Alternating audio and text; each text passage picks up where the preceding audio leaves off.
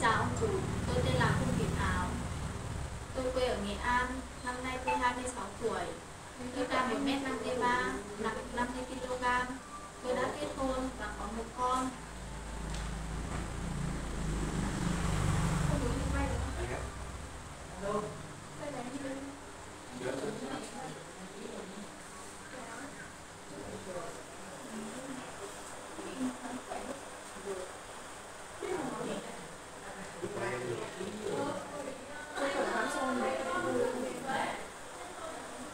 그 사기